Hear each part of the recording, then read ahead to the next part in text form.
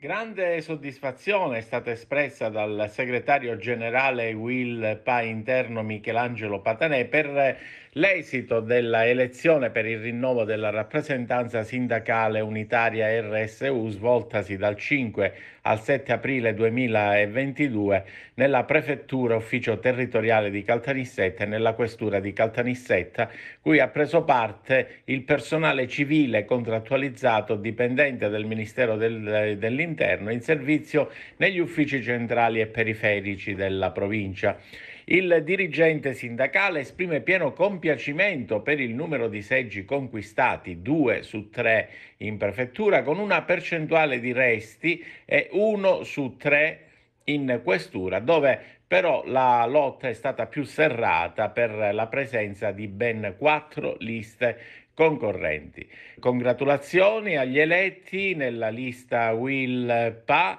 Giorgio Stella, Francesco Paolo Giannotta e Roberta Maria Marchese con i migliori auspici di buon lavoro sono stati espressi appunto dalla segreteria